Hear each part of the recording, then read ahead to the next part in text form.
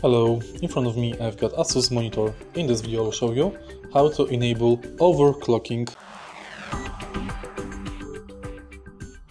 Overclocking in Asus monitor refers to increasing the monitor refresh rate beyond its factory specified maximum to achieve smoother visuals.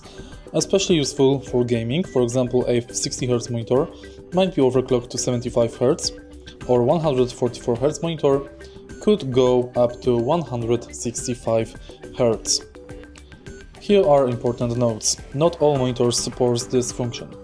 It's typically available in gaming monitors like Asus ROG or TUF series.